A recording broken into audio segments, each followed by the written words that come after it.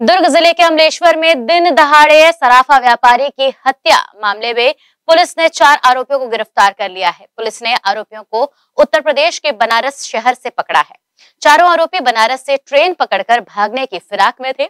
इससे पहले ही पुलिस ने उन्हें अंधरापुर के पास घेर लिया। आरोपियों ने गिरफ्तारी से बचने के लिए दुर्ग पुलिस के ऊपर भी कई राउंड फायर किया था। इसके बाद भी पुलिस ने चारों आरोपियों को गिरफ़्तार करने में सफलता पाई है। जिला पुलिस अधीक्षक डॉक्टर अभिषेक पल्लव ने बताया कि पुलिस की टीम ने 24 घंटे के अंदर ब्लाइंड मर्डर की गुत्थी को सुलझा लिया है। चारों आरोपी पुलिस की गिरफ्त में हैं। उनके पास से लूटी गई रकम नब्बे हज़ार रुपए और ज्वेलरी भी जब्त की गई है। पुलिस ने इस मामले में बिहार के गया जिला अंतर्गत दंडीबाग निवासी सौरभ कुमार सिंह, उत्तर प्रदेश के बामणिया निवासी अभय कुमार भारती, बिहार के छपरा जिला अंतर्गत सोनपुर थाना के सापू दियारा निवासी आलोक कुमार यादव और मुजफ्फरपुर जिला के रजला गाँव निवासी अभिषेक कुमार झा को गिरफ़्तार किया है। चारों को वाराणसी कोर्ट में पेश कर उनका ट्रांजिट रिमांड लिया गया है। इसके बाद उन्हें दुर्ग लाकर न्यायिक हिरासत में भेज दिया गया है। गौरतलब है कि अमलेश्वर के तिरंगा चौक में समृद्धि ज्वेलर्स नाम से सोने चांदी के आभूषणों की दुकान है। गुरुवार 20 अक्टूबर को दोपहर करीब एक बजे दो युवक सामान्य ग्राहक बनकर आए हुए थे। दुकान संचालक सुरेंद्र कुमार सोनी निवासी, गुड आइलैंड कॉलोनी, उस समय दुकान में अकेले थे। युवकों ने उनसे कुछ गहने दिखाने को कहा। इसके बाद सुरेंद्र गहने दिखाते रहे। इसी दौरान वे रैक से कुछ निकालने झुके। उनका सिर काउंटर से जैसे ही नीचे हुआ, दोनों युवकों ने उनका सिर पकड़कर ज़ोर से काउंटर पर मारा। फिर पिस्तौल निकाल ली और सुरेंद्र कुमार सोनी के ऊपर पाँच गोलियाँ दाग दी। इससे वे लहूलुहान होकर कुर्सी में ढेर हो गए। इसके बाद दोनों आरोपियों ने बड़े ही इत्मीनान से काउंटर और दुकान में रखे। जेवरात एवं नकदी लेकर चलते बने। पुलिस अधीक्षक ने बताया कि गिरफ़्तार किए गए चारों आरोपियों में अभिषेक झा नाम के आरोपी को रायपुर व उसके आसपास के क्षेत्र के बारे में पहले से जानकारी थी। गुरुवार दोपहर चारों आरोपी वारदात को अंजाम देने गए थे। अभिषेक और अभय कुमार उर्फ़ बाबू दिल्ली से लाई कार में घटना स्थल से कुछ दूर पर खड़े थे। सौरभ कुमार अपनी बाइक में अपने साथी आलोक कुमार के साथ समृद्धि ज्वेलर्स पहुँचा। उस समय दुकान संचालक सुरेंद्र सोनी अकेला था। आरोपियों ने सुरेंद्र सोनी के ऊपर छह सात राउंड फायर किया।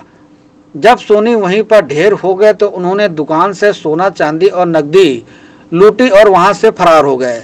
हत्या की यह वारदात उस वक्त सीसीटीवी कैमरे में कैद हुई थी। इसके बाद आरोपी सीधे रायपुर ज़िले के आरंग पहुँचे। यहाँ बाइक को खड़ा किया, फिर अभिषेक की कार में बैठकर बिहार की तरफ़ निकले। ये लोग कार से बनारस तक गए।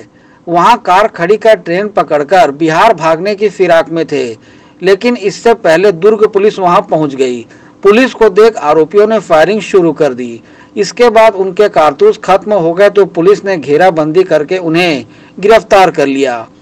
एसपी ने बताया कि आरोपियों को पकड़ने के लिए उन्होंने अलग अलग पाँच टीमें बनाई थी। हर एक टीम आरोपियों के रूट के सीसीटीवी फुटेज को चेक करते हुए आगे बढ़ रही थी। इसके साथ ही इस कार्य में रायपुर, बिलासपुर, बलरामपुर, झारखंड की कोडरमा पुलिस, उत्तर प्रदेश पुलिस और रेलवे पुलिस का काफ़ी सहयोग मिला। कल अमलेश्वर में, एक से डेढ़ बजे के बीच में व्यापारी सोनी को दो लोगों ने गोली मारी।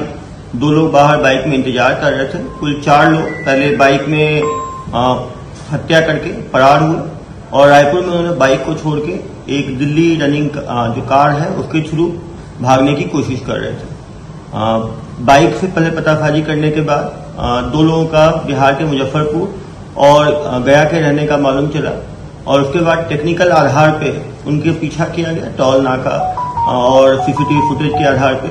और आज बनारस में करीब चार बजे के करीब इन चार लोगों को गिरफ़्तार किया गया। सौरभ कुमार सिंह जो कि गया का रहने वाला है, अभय कुमार भारती, जो कि थाना धारापुर, चंदौली, यूपी का रहने वाला है आलोक कुमार यादव, जो कि छपरा बिहार का रहने वाला है, और अभिषेक कुमार झा, जिला मुजफ्फरपुर का रहने वाला है। आ, इनके पास सोने चांदी जो है वो रिकवर हुए हैं। इनसे पूछताछ की जा रही है। आ, लोकल कनेक्शन की भी बात सामने आ रही है। उनसे जाँच उनसे बयान लेने के बाद बाकी खुलासा करना संभव होगा। दुर्ग पुलिस ने 24 घंटे के अंदर यूपी पुलिस की मदद से झारखंड पुलिस की मदद से अ, इन चार लोगों को पकड़ने में अहम सफलता प्राप्त की। ग्रैंड एशियन न्यूज़ के लिए शाहीन खान की रिपोर्ट।